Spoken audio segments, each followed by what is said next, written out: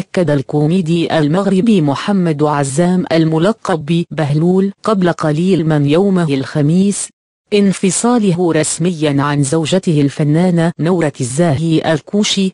وذلك بعد عدة شهور فقط من إنجابهما لمولود ذكر. وعبر بهلول عن سعادته الكبيرة بانفصاله عن نورة مؤكدا أنه مباشر بعد انقطاع العلاقة معها.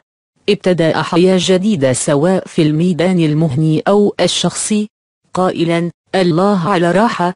وأكد بهلول المتواجد بمدينة كلميم على أنه يركز حاليا في الجولة الفنية التي يقوم بها بالأقاليم الجنوبية للمملكة والتي انطلقت من مدينة مراكش حيث قدم عرض قرين بكري في العديد من الخيريات ومراكز الأطفال.